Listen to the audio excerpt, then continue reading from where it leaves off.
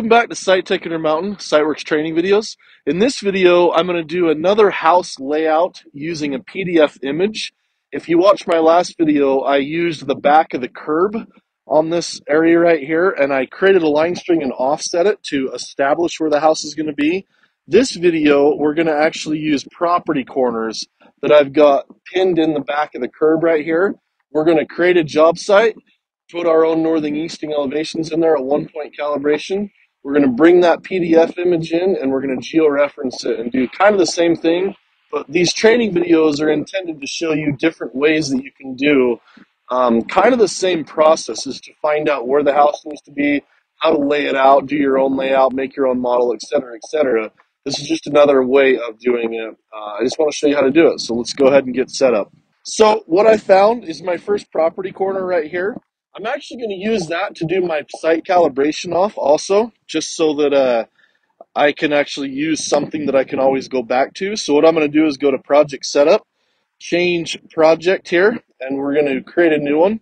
We will call this the uh, house lot uh, number 330. Whoops.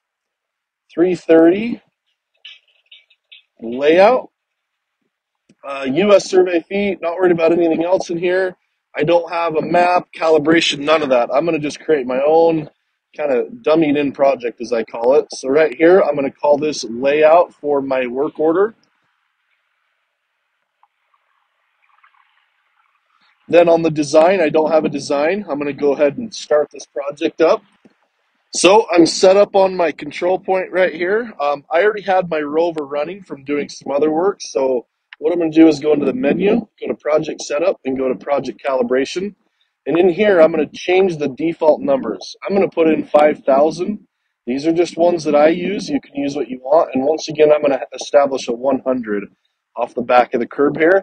So I got my quick release on, 6.562, and I'm going to do a one point calibration for 15 seconds right here to establish a project. And it'll be based off of this point right here.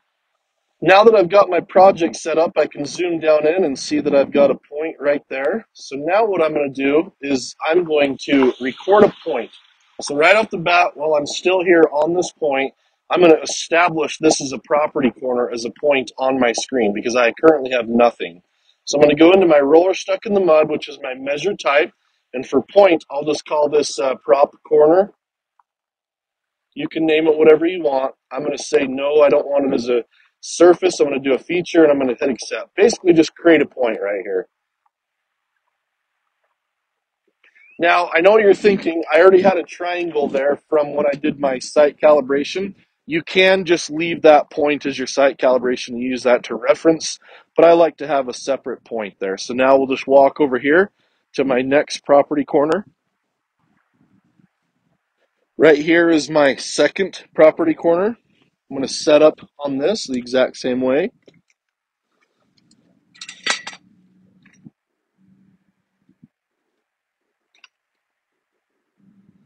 Level up, and I'm going to do the same thing. We'll just call this property corner, but it's going to be property corner 1 because it doesn't like duplicates.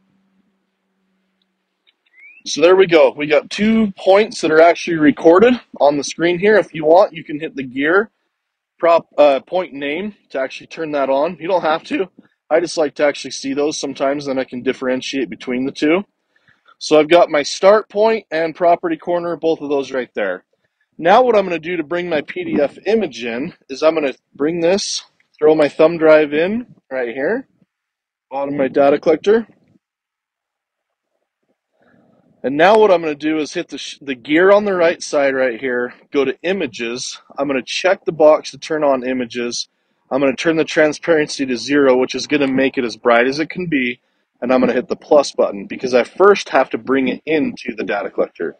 So I'm going to change to my D drive. And right there, you can see I've got proper house property corners. So we're going to go ahead and hit accept, bring it in. And you can see on the screen there, the image it's bringing in, there's two different points. So now what I'm going to do is import that.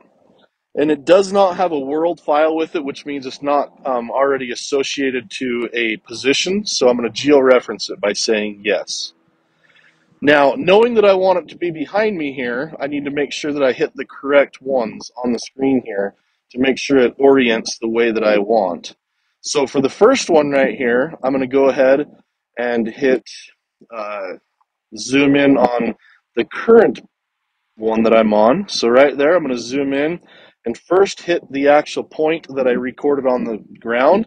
Then on the second side here, it's going to ask me which point that corresponds to on the screen here. And I'm going to zoom way in so I can touch right in the middle of that. Now, same thing with the second one. We're going to go ahead and zoom in on the uh, property corner where my start point was. Tap that. I'm going to do property corner. And then I'm going to do the same thing on the image here. Zoom way in as close as I can so I can tap it right in the middle and hit accept. So now it georeferences that image for me and it loads it up. So we can zoom all the way out on the project.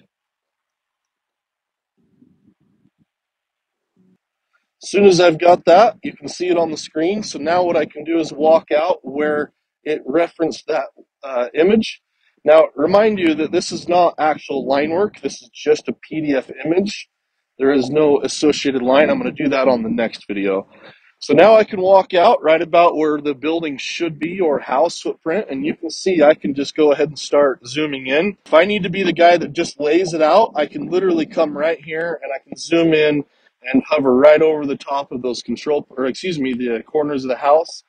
And I can do many, many different things. I can do like in my last video where I start shooting line strings um, and making my own model, or I can just start staking points right here and laying it out. So that is one way to do a layout of a house footprint in an area like this where you can see it's just wide open. There's really nothing to reference to, but we have to make sure the house is exactly where it needs to be. So we have uh, the property corners that were provided from the engineer, and we can lay it out that way. So hopefully this helps, and uh, you can apply it to what you guys are actually doing out there in the field. I know this is kind of a cookie cutter approach, but just get your minds thinking and and working in the way that it needs to to, to use this SiteWorks program to your advantage if you don't have CAD or have a surveyor or he's too busy, et cetera, et cetera. So thank you for watching this video from SITECH Intermountain.